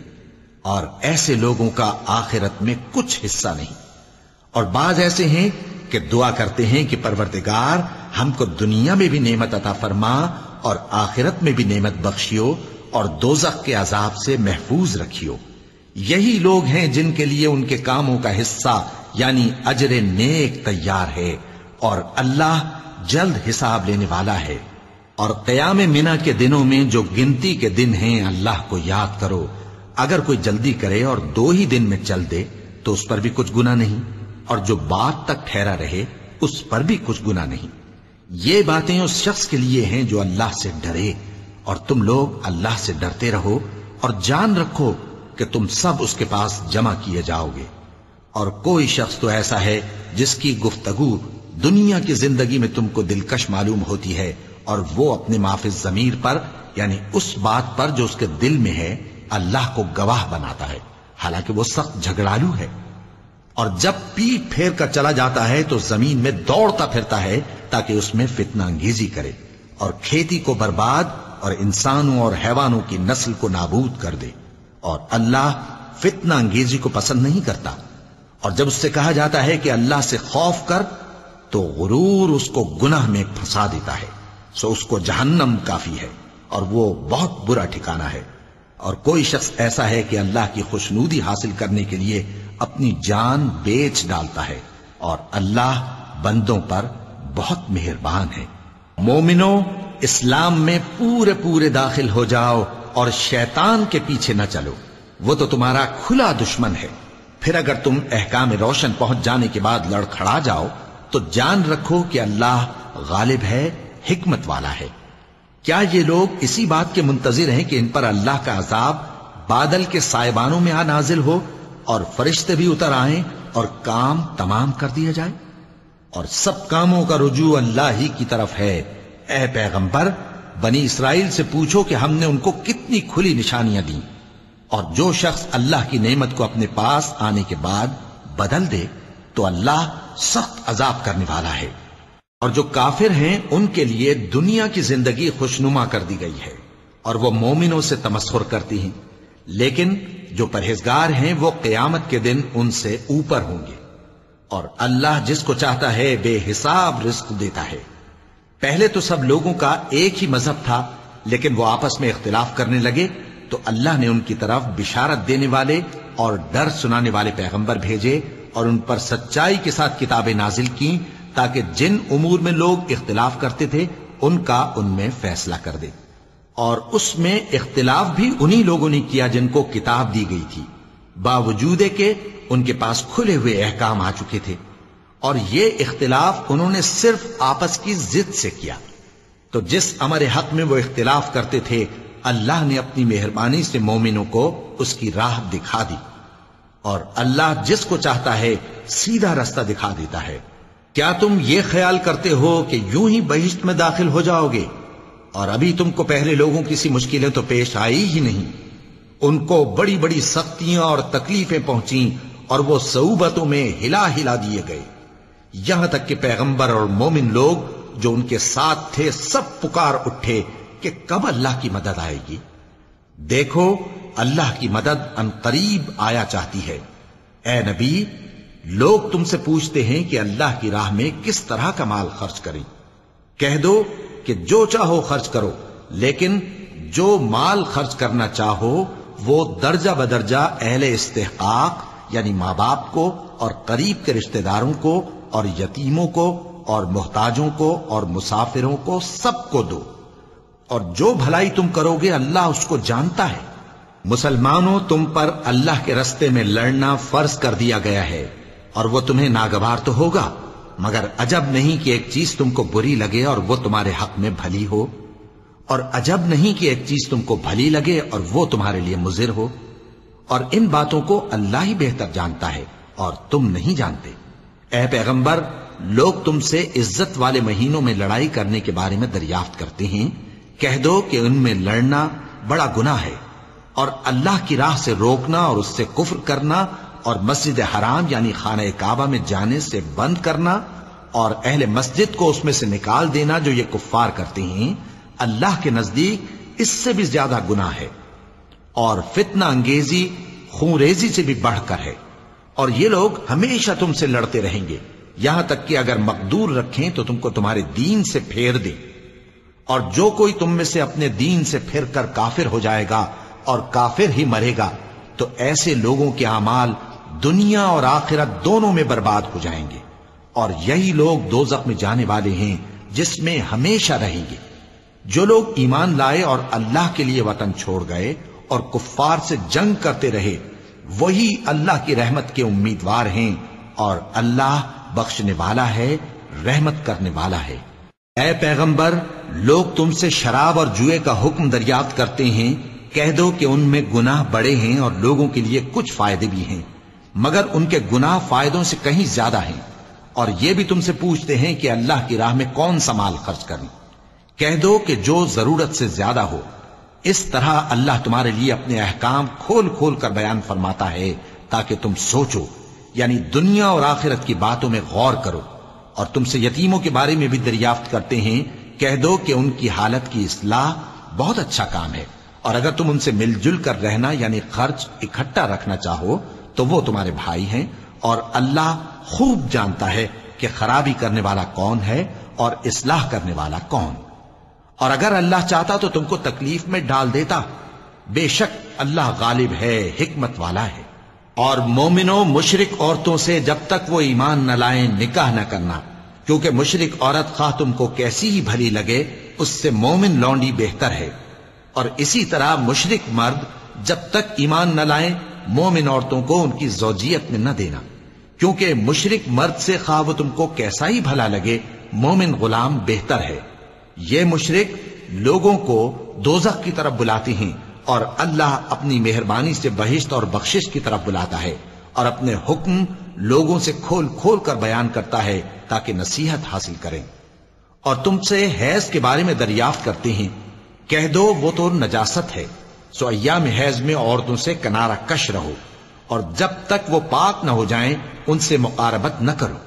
हाँ, जब वो पाक हो जाएँ तो जिस तरीक से अल्लाह ने तुम्हें इरशाद फरमाया है, उनके पास जाओ। कुछ शक नहीं कि अल्लाह तौबा करने वालों और पाक साफ़ रहने वालों को दोस्त रखता है। तुम्हारी औरतें तुम्हारी खेती हैं तो अपनी खेती में जिस तरह चाहो जाओ, और अपने लिए नेक अमल आगे भेजो, और अल्लाह से डरते रहो और जान रखो कि एक दिन तुम्हें उसके रूबरू हाजिर होना है। और अः पैगंबर, ईमान वालों को बिशारत सुना दो। और अल्लाह के नाम को इस बात का हीला न बनाना कि उसकी कस्में खा खाकर सलूक करने और परहेजगारी करने और लोगों में सुलह साजगारी कराने से रुक जाओ। और अल्लाह सब कुछ सुनता है, जानता है। अल्लाह तुम्हारी लघु कस्मों पर तुमसे मुआवजा नहीं करेगा। लेकिन जो कस्में तुम कसद दिली से खाओगे उन पर मुआवजा करेगा। और अल्लाह बख्शने वाला है, बुर्दबार है। जो लोग अपनी औरतों के पास जाने की कसम खा लें, उनको चार महीने तक इंतज़ार करना चाहिए। अगर इस अरसे में कसम से रुजू कर लें तो अल्लाह बख्शने वाला है, मेहरबान है। और अगर तलाक का इरादा कर लें तो भी अल्लाह सुनता है, जानता है। और तलाक वाली औरतें तीन हैज़ तक अपने तई रोके रहें। और अगर वो अल्लाह और रोज क्यामत पर ईमान रखती हैं तो उनको जायज़ नहीं कि अल्लाह ने जो कुछ उनके शिकम में पैदा किया है, उसको छुपाएँ। और उनके खाविंद अगर फिर मुआफिकत चाहें तो इस मुद्दत में वो उनको अपनी जौजियत में ले लेने के ज़्यादा हकदार हैं। और औरतों का हक मर्दों पर वैसा ही है, जैसे दस्तूर के मुताबिक मर्दों का हक औरतों पर है। अलबत्ता मर्दों को औरतों पर एक दर्जा फजीलत है। और अल्लाह गालिब है, साहिब हिकमत है। तलाक सिर्फ़ दो बार है। यानी जब दो दफ़ा तलाक दे दी जाए तो फिर औरतों को या तो बतरीक शाइस्ता निकाह में रहने देना है या भलाई के साथ छोड़ देना। और ये जायज़ नहीं कि जो मेहर तुम उनको दे चुके हो, उसमें से कुछ वापस ले लो। हाँ, अगर जनो शोहर को खौफ हो कि वो अल्लाह की हदों को कायम नहीं रख सकेंगे तो अगर औरत खाविंद के हाथ से रिहाई पाने के बदले में कुछ दे डाले तो दोनों पर कुछ गुना नहीं। ये अल्लाह की मुकर्र की हुई हदें हैं। इनसे बाहर न निकलना। और जो लोग अल्लाह की हदों से बाहर निकल जाएँगे, वो गुनाहगार होंगे।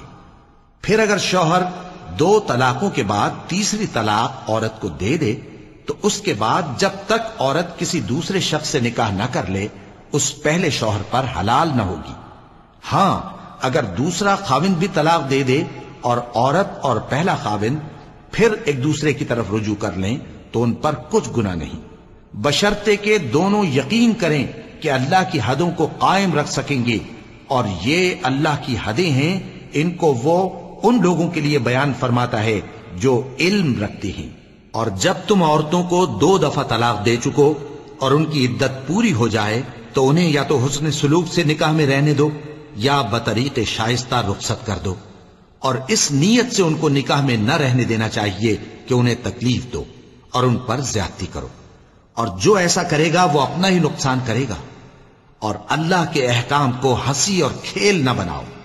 और अल्लाह ने तुमको जो नेमतें बख्शी हैं और तुम पर जो किताब और दानाई की बातें नाजिल की हैं, जिनसे वो तुम्हें नसीहत फरमाता है, उनको याद करो और अल्लाह से डरते रहो और जान रखो कि अल्लाह हर चीज़ से वाकिफ है। और जब तुम औरतों को तलाक दे चुको और उनकी इद्दत पूरी हो जाए तो उनको अपने शोहरों के साथ जब वो आपस में जायज़ तौर पर राज़ी हो जाएँ, निकाह करने से मत रोको। इस हुक्म से उस शख्स को नसीहत की जाती है जो तुम में अल्लाह और रोज़े आखिर पर यकीन रखता है। ये तुम्हारे लिए निहायत खूब और बहुत पाकिजगी की बात है और अल्लाह जानता है और तुम नहीं जानते। और माएँ अपने बच्चों को पूरे दो साल दूध पिलाएँ, ये हुक्म उस शख्स के लिए है जो पूरी मुद्दत तक दूध पिलवाना चाहे और दूध पिलाने वाली माओ का खाना और कपड़ा दस्तूर के मुताबिक बाप के जिम्मे होगा। किसी शख्स को उसकी ताकत से ज़्यादा तकलीफ़ नहीं दी जाती। तो याद रखो कि न तो माँ को उसके बच्चे के सबब नुकसान पहुँचाया जाए और न बाप को उसकी औलाद की वजह से नुकसान पहुँचाया जाए। और इसी तरह नानो नफका बच्चे के वारिस के जिम्मे है। और अगर दोनों यानी माँ बाप आपस की रजामंदी और सलाह से बच्चे का दूध छुड़ाना चाहें तो उन पर कुछ गुना नहीं। और अगर तुम अपनी औलाद को दूध पिलवाना चाहो तो तुम पर कुछ गुना नहीं, बशर्ते कि तुम दूध पिलाने वालियों को दस्तूर के मुताबिक उनका हक जो तुमने देना किया था दे दो। और अल्लाह से डरते रहो और जान रखो कि जो कुछ तुम करते हो, अल्लाह उसको देख रहा है। और जो लोग तुम में से मर जाएँ और औरतें छोड़ जाएँ तो वो औरतें चार महीने और दस दिन अपने आप को रोके रहे। और जब ये इद्दत पूरी कर चुके और अपने हक में पसंदीदा काम, यानी निकाह कर लें तो तुम पर कुछ गुना नहीं। और अल्लाह तुम्हारे सब कामों से वाकिफ है। अगर तुम इशारे किनाए में औरतों को निकाह का पैगाम भेजो या निकाह की ख्वाहिश को अपने दिलों में मख्फी रखो तो तुम पर कुछ गुना नहीं। अल्लाह को मालूम है कि तुम उनसे निकाह का ज़िक्र करोगे। मगर अयाम इद्दत में इसके सिवा के दस्तूर के मुताबिक कोई बात कह दो, पोशीदा तौर पर उनसे कौलो करार न करना। और जब तक इद्दत पूरी ना हो ले, निकाह का पुख्ता इरादा न करना। और जान रखो कि जो कुछ तुम्हारे दिलों में है, अल्लाह को सब मालूम है। तो उससे डरते रहो और जान रखो कि अल्लाह बख्शने वाला है, हिल्म वाला है। और अगर तुम औरतों को उनके पास जाने या उनका मेहर मुकर्र करने से पहले तलाक दे दो तो तुम पर कुछ गुना नहीं। हाँ, उनको दस्तूर के मुताबिक कुछ खर्च ज़रूर दो। यानी मकदूर वाला अपने मकदूर के मुताबिक दे और तंगदस्त अपनी हैसियत के मुताबिक। नेक लोगों पर यह एक तरह का हक है। और अगर तुम औरतों को उनके पास जाने से पहले तलाक दे दो, लेकिन मेहर मुकर्र कर चुके हो तो आधा मेहर देना होगा। हाँ अगर औरतें मेहर बख्श दें या मर्द जिनके हाथ में अकद निकाह है, अपना हक छोड़ दें और पूरा मेहर दे दें तो उनको इख्तियार है। और अगर तुम मर्द लोग ही अपना हक छोड़ दो तो ये परहेजगारी की बात है। और आपस में भलाई करने को फरामोश न करना। कुछ शक नहीं कि अल्लाह तुम्हारे सब कामों को देख रहा है। मुसलमानों, सब नमाजें, खसूसन बीच की नमाज़, यानी नमाज़ आसर पूरे एहतमाम के साथ अदा करते रहो और अल्लाह के आगे अदब से खड़े रहा करो। फिर अगर तुम खौफ की हालत में हो तो प्यादे या सवार जिस हाल में हो, नमाज़ पढ़ लो। फिर जब अमनो इतमान हो जाए तो जिस तरीक से अल्लाह ने तुमको सिखाया है, जो तुम पहले नहीं जानते थे, अल्लाह को याद करो। और जो लोग तुम में से मर जाएँ और औरतें छोड़ जाएँ, वो अपनी औरतों के हक में वसीयत कर जाएँ कि उनको एक साल तक खर्च दिया जाए और घर से न निकाली जाए। हाँ, अगर वो खुद घर से चली जाएँ और अपने हक में पसंदीदा काम, यानी निकाह कर ले तो तुम पर कुछ गुना नहीं। और अल्लाह ज़बरदस्त है, हिकमत वाला है। और मुतलका औरतों को भी दस्तूर के मुताबिक नान नफका देना चाहिए, परहेजगारों पर यह भी हक है। इसी तरह अल्लाह अपने अहकाम तुम्हारे लिए बयान फरमाता है, ताकि तुम समझो। भला तुमने उन लोगों को नहीं देखा जो शुमार में हज़ारों ही थे और मौत के डर से अपने घरों से निकल भागे थे? तो अल्लाह ने उनको हुक्म दिया कि मर जाओ। फिर उनको ज़िंदा भी कर दिया। कुछ शक नहीं कि अल्लाह लोगों पर मेहरबानी रखता है। लेकिन अक्सर लोग शुक्र नहीं करते। और मुसलमानों, अल्लाह की राह में जिहाद करो और जान रखो कि अल्लाह सब कुछ सुनता है, सब कुछ जानता है। कौन है कि अल्लाह को कर्ज हसना दे? कि वो उसके बदले उसको कई गुना ज़्यादा देगा और अल्लाह ही रोजी को तंग करता और वही उसे कुशादा करता है और तुम उसी की तरफ़ लौट कर जाओगे। भला तुमने बनी इसराइल की एक जमात को नहीं देखा जिसने मूसा के बाद अपने पैगंबर से कहा कि आप हमारे लिए एक बादशाह मुकर्र कर दें ताकि हम अल्लाह की राह में जिहाद करें? पैगंबर ने कहा कि अगर तुमको जिहाद का हुक्म दिया जाए तो ऐसा तो नहीं कि लड़ने से पहलू ते ही करो। वो कहने लगे कि हम अल्लाह की राह में क्यों ना लड़ेंगे, जबकि हम वतन से खारिज और बाल बच्चों से जुदा कर दिए गए। फिर जब उनको जिहाद का हुक्म दिया गया तो चंद अशखास के सिवा सब फिर गए और अल्लाह जालिमों से खूब वाकिफ है। और पैगंबर ने उनसे यह भी कहा कि अल्लाह ने तुम पर तालूद को बादशाह मुकर्र फरमाया है। वो बोले कि उसे हम पर बादशाही का हक क्यों कर हो सकता है? उससे बढ़कर बादशाही के मुस्तक तो हम हैं। और उसके पास तो बहुत सी दौलत भी नहीं। पैगंबर ने कहा कि अल्लाह ने उसको तुम पर फजीलत दी है और बादशाही के लिए मुंतखब फरमाया है। उसने उसे इल्म भी बहुत सा बख्शा है और तनोतोष भी बड़ा अता किया है। और अल्लाह को इख्तियार है, जिसे चाहे बादशाही बख्शे, वो बड़ा कुशाइश वाला है, दाना है। और पैगंबर ने उनसे कहा कि उनकी यानी तालूद की बादशाही की निशानी यह है कि तुम्हारे पास वो संदूक आएगा जिसको फरिश्ते उठाए हुए होंगे। उसमें तुम्हारे परवरदिगार की तरफ़ से तसल्ली बख्शने वाली चीज़ होगी और कुछ और चीज़ें भी होंगी जो मूसा और हारून छोड़ गए थे। अगर तुम ईमान रखते हो तो ये तुम्हारे लिए एक बड़ी निशानी है। गरज जब तालूद फौजी लेकर रवाना हुआ तो उसने उनसे कहा कि अल्लाह एक नहर से तुम्हारी आजमाइश करने वाला है। जो शख्स उसमें से पानी पी लेगा उसकी निस्बत तस्वुर किया जाएगा कि वो मेरा नहीं, और जो न पिएगा, वो समझा जाएगा कि मेरा है। हाँ, अगर कोई हाथ से चुल्लू भर पानी ले ले तो खैर। जब वो लोग नहर पर पहुँचे तो चंद आदमियों के सिवा सबने पानी पी लिया। फिर जब तालूत और मोमिन लोग, जो उसके साथ थे, नहर के पार हो गए तो कहने लगे कि आज हम में जालूत और उसके लश्कर से मुकाबला करने की ताकत नहीं। जो लोग यकीन रखते थे कि उनको अल्लाह के रूबरू हाजिर होना है, वो कहने लगे कि बसा औकात थोड़ी सी जमात ने अल्लाह के हुक्म से बड़ी जमात पर फतह हासिल की है। और अल्लाह साबित कदम रहने वालों के साथ है।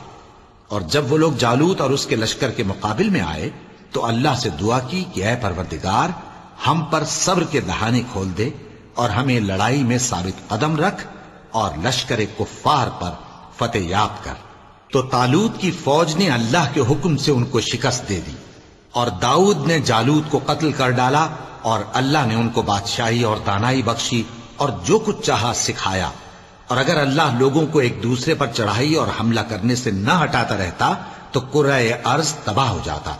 लेकिन अल्लाह अहले आलम पर बड़ा मेहरबान है। ये अल्लाह की आयतें हैं जो हम तुमको सच्चाई के साथ पढ़कर सुनाते हैं। और ए मोहम्मद वसल्लम, तुम बिला शुबा पैगंबरों में से हो। ये पैगंबर जो हम वक्तन फवक्तन भेजते रहे हैं, इनमें से हमने बाज को बाज पर फजीलत दी है। बाज ऐसे हैं जिनसे अल्लाह ने गुफ्तगु की और बाज के दूसरे उमूर में मरतबे बुलंद किए।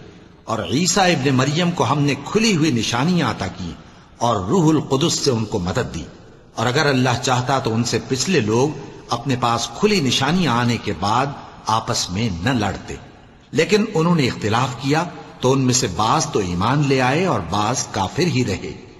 और अगर अल्लाह चाहता तो ये लोग बाहम जंगो किताल न करते। लेकिन अल्लाह जो चाहता है, करता है। ए ईमान वालो, जो माल हमने तुमको दिया है, उसमें से उस दिन के आने से पहले पहले खर्च कर लो, जिसमें ना आमाल का सौदा हो और न दोस्ती और सिफारिश हो सके। और कुफ्र करने वाले लोग जालिम हैं। अल्लाह वो मबूद बरहक है कि उसके सिवा कोई इबादत के लायक नहीं। ज़िंदा है सबको थामने वाला, उसे न ऊंग आती है, न नींद। जो कुछ आसमानों में और जो कुछ ज़मीन में है, सब उसी का है। कौन है कि उसकी इजाज़त के बगैर उससे किसी की सिफारिश कर सके? जो कुछ लोगों के रूबरू हो रहा है और जो कुछ उनके पीछे हो चुका है, उसे सब मालूम है। और लोग उसकी मालूमात में से किसी चीज़ पर दस्तरस हासिल नहीं कर सकते। हाँ, जिस कदर वो चाहता है, उसी कदर मालूम करा देता है। उसकी बादशाही और इल्म, आसमान और ज़मीन सब पर हावी है, और उसे उनकी हिफाजत कुछ भी दुश्वार नहीं। वो बड़ा आली रुतबा है जलील कद्र है। दीन इस्लाम में कोई ज़बरदस्ती नहीं है। हिदायत साफ़ तौर पर ज़ाहिर और गुमराही से अलग हो चुकी है। तो जो शख्स बुतों से एतकाद न रखे और अल्लाह पर ईमान लाए, उसने ऐसी मज़बूत रस्सी हाथ में पकड़ ली है जो कभी टूटने वाली नहीं। और अल्लाह सब कुछ सुनता है, सब कुछ जानता है।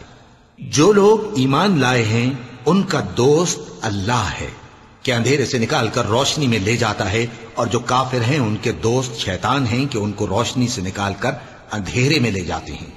यही लोग अहले दोजख हैं कि उसमें हमेशा रहेंगे।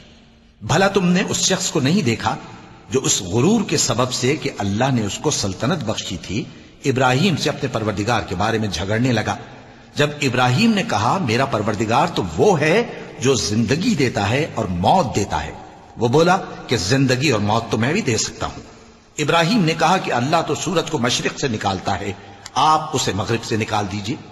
यह सुनकर वो काफिर हक्का बक्का रह गया और अल्लाह बेइंसाफों को हिदायत नहीं दिया करता। या इसी तरह उस शख्स को नहीं देखा जिसका एक बस्ती पर, जो अपनी छतों पर गिरी पड़ी थी, गुजर हुआ। तो उसने कहा कि अल्लाह इसके बाशिंदों को मरने के बाद क्यों कर ज़िंदा करेगा? तो अल्लाह ने उसकी रूह कब्ज कर ली और सौ बरस तक उसको मुर्दा रखा। फिर उसको जिला उठाया और पूछा, तुम कितना अरसा मरे पड़े रहे हो? उसने जवाब दिया कि एक दिन या इससे भी कम। अल्लाह ने फरमाया, नहीं, बल्कि सौ बरस मरे रहे हो और अपने खाने पीने की चीज़ों को देखो कि इतनी मुद्दत में मुतलक सड़ी बुसी नहीं और अपने गधे को भी देखो जो मरा पड़ा है। गरज इन बातों से यह है कि हम तुमको लोगों के लिए अपनी कुदरत की निशानी बनाएँ। और हाँ, गधे की हड्डियों को देखो कि हम उनको किस तरह जोड़े देते और उन पर किस तरह गोश्त पोस्त चढ़ाए देते हैं। जब ये वाकयात उसके मुशाहिदे में आए तो बोल उठा कि मैं यकीन करता हूँ कि अल्लाह हर चीज़ पर कादिर है। और जब इब्राहिम ने अल्लाह से अर्ज़ किया कि अय परवरदिगार, मुझे दिखा कि तू मुर्दों को क्यों कर ज़िंदा करेगा? अल्लाह ने फरमाया, क्या तुमने इस बात का यकीन नहीं किया? उन्होंने कहा, क्यों नहीं? लेकिन मैं देखना इसलिए चाहता हूँ कि मेरा दिल इतमान कामिल हासिल कर ले। फरमाया कि चार परिंदे ले लो, फिर उनको अपने से हिला लो और उनके टुकड़े टुकड़े कर दो। फिर उनका एक एक टुकड़ा हर एक पहाड़ पर रख दो। फिर उनको बुलाओ तो वो तुम्हारे पास दौड़ते चले आएँगे। और जान रखो कि अल्लाह गालिब है, साहिब हिकमत है। जो लोग अपना माल अल्लाह की राह में खर्च करते हैं, उनके माल की मिसाल उस दाने की सी है, जिससे सात बालें उगे और हर एक बाल में सौ सौ दाने हों। और अल्लाह जिसके अजर को चाहता है और ज़्यादा करता है और अल्लाह कुशाइश वाला है सब कुछ जानने वाला है। जो लोग अपना माल अल्लाह के रस्ते में सर्व करते हैं, फिर उसके बाद न उस खर्च का किसी पर एहसान रखते हैं और न किसी को तकलीफ़ देते हैं। उनका सिला उनके परवरदिगार के पास तैयार है और कयामत के रोज न उनको कुछ खौफ होगा और न वो गमगीन होंगे। जिस खैरात के देने के बाद लेने वाले को ईजा दी जाए, उससे तो नर्म बात कह देनी और दरगुजर करना बेहतर है। और अल्लाह बेनियाज है, बुर्दबार है। मोमिनो, अपने सदकात खैरात, एहसान रखने और ईजा देने से उस शख्स की तरह बर्बाद न कर देना, जो लोगों को दिखावे के लिए माल खर्च करता है और अल्लाह और रोज आखिर पर ईमान नहीं रखता। तो उसके माल की मिसाल उस चटान की सी है, जिस पर थोड़ी सी मिट्टी पड़ी हो और उस पर ज़ोर का मे बरस कर उसे साफ़ कर डाले। इसी तरह ये रियाकार लोग अपने अमाल का कुछ भी सिला हासिल नहीं कर सकेंगे और अल्लाह ऐसे नाशुकरों को हिदायत नहीं दिया करता। और जो लोग अल्लाह की खुशनूदी हासिल करने के लिए और खुलूस नीयत से अपना माल खर्च करते हैं, उनकी मिसाल एक बाग किसी है जो ऊँची जगह पर वाक़ हो। जब उस पर ज़ोर का मे पड़े तो दुगना फल लाए, फिर अगर मे ना भी पड़े तो खैर फुआर ही सही। और अल्लाह तुम्हारे कामों को देख रहा है। भला तुम में कोई ये चाहता है कि उसका खजूरों और अंगूरों का बाग हो जिसमें नहरें बह रही हों और उसमें उसके लिए हर किस्म के मेवे मौजूद हों और उसे बुढ़ापा आ पकड़े और उसके नन्हे नन्हे बच्चे भी हों तो नागहा उस बाग पर आग का भरा हुआ बगूला चले, बस वो जल जाए। इस तरह अल्लाह तुमसे अपनी आयतें खोल खोल कर बयान फरमाता है, ताकि तुम सोचो और समझो। मोमिनो, जो पाकिजा और उमदा माल तुम कमाते हो और जो चीज़ें हम तुम्हारे लिए ज़मीन से निकालते हैं, उनमें से अल्लाह की राह में भी खर्च करो और बुरी और नापाक चीज़ें देने का कस्द न करना कि अगर वो चीज़ें तुम्हें दी जाएँ तो बजुज इसके कि लेते वक्त आँखें बंद कर लो, उनको कभी न लो। और जान रखो कि अल्लाह बेनियाज है, खूबियों वाला है। शैतान तुम्हें तंगदस्ती का खौफ दिलाता और बेहयाई के काम करने को कहता है। और अल्लाह तुमसे अपनी बख्शिश और रहमत का वादा करता है। और अल्लाह कुशाइश वाला है, सब कुछ जानने वाला है। वो जिसको चाहता है दानाई बख्शता है, और जिसको दानाई मिली, बेशक उसको बड़ी नेमत मिली। और नसीहत तो वही लोग कबूल करते हैं जो अक्लमंद हैं। और तुम अल्लाह की राह में जिस तरह का खर्च करो या कोई नज़र मानो, अल्लाह उसको जानता है। और जालिमों का कोई मददगार न होगा। अगर तुम खैरात ज़ाहिर करके दो तो वो भी खूब है, और अगर पोशीदा दो, और दो भी जरूरतमंदों को तो ये तुम्हारे लिए बेहतर है। और इस तरह का देना तुम्हारे गुनाहों को भी दूर करेगा, और अल्लाह को तुम्हारे सब कामों की खबर है। ए नबी, सल्लल्लाहु अलैहि वसल्लम, तुम इन लोगों की हिदायत के जिम्मेदार नहीं हो, बल्कि अल्लाह ही जिसको चाहता है हिदायत बख्शता है। और मोमिनो, तुम जो माल खर्च करोगे तो उसका फ़ायदा तुम्ही को है। और तुम तो जो खर्च करोगे, अल्लाह की खुशनुदी के लिए करोगे। और जो माल तुम खर्च करोगे, वो तुम्हें पूरा पूरा दे दिया जाएगा और तुम्हारा कुछ नुकसान नहीं किया जाएगा। और हाँ, तुम जो खर्च करोगे तो उन हाजतमंदों के लिए जो अल्लाह की राह में रुके बैठे हैं और मुल्क में किसी तरफ़ जाने की ताकत नहीं रखते और मांगने से आर रखते हैं। यहाँ तक कि ना मांगने की वजह से नावाकिफ शख्स उनको तवंगर ख्याल करता है। और तुम कयाफे से उनको साफ़ पहचान लो कि हाजतमंद हैं और शर्म के सबब लोगों से मुँह फोड़कर और लिपट कर नहीं मांग सकते। और तुम जो माल खर्च करोगे, कुछ शक नहीं कि अल्लाह उसको जानता है। जो लोग अपना माल रात और दिन और पोशीदा और ज़ाहिर अल्लाह की राह में खर्च करते रहते हैं, उनका सिला उनके परवरदिगार के पास है। और उनको क्यामत के दिन न किसी तरह का खौफ होगा और न गम। जो लोग सूद खाते हैं, वो कब्रों से इस तरह हवास बाख्ता उठेंगे, जैसे किसी को जिन ने लिपट कर दीवाना बना दिया हो। ये इसलिए कि वो कहते हैं कि सौदा बेचना भी तो नफे के लिहाज से वैसा ही है जैसे सूद लेना।